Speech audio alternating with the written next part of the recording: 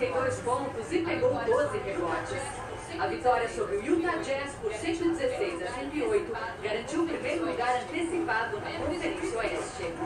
Memphis Grizzlies e New Orleans Pelicans entraram em quadra pressionados após duas derrotas nas rodadas anteriores. O jogo marcou o duelo dos calouros mais badalados da temporada e Zion a sobre Jamal Run. Fez 23 pontos na vitória dos Pelicans por 109 a 99.